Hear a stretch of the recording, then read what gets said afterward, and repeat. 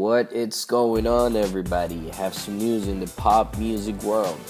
Chris Brown sparks a new flame with Ariana Grande, and the long awaited video for their pop dance collaboration Don't Be Gone Too Long.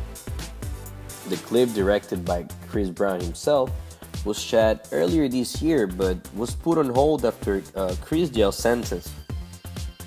The pop superstars show off their chemistry in the romantic scenes.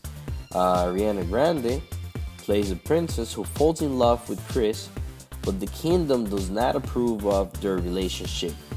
Um, Breezy is captured and locked away, but manages to escape and return to his love. Guys, I just watched the video. It's really, really cool. I really like the video a lot. So I'm gonna leave you with the full video link in the description. Remember to follow us on Twitter, Instagram, and Facebook on Time the Show. Also visit our website ontimetheshow.com. See you next time. If you enjoyed this video, don't forget to subscribe over here. Subscribe. Also follow us on Twitter, Instagram, and Facebook. You can also click here, right there. Also visit our website, ontimetheshow.com. It's also here. You can feel free to click there. And our last videos are right here, in that corner over here.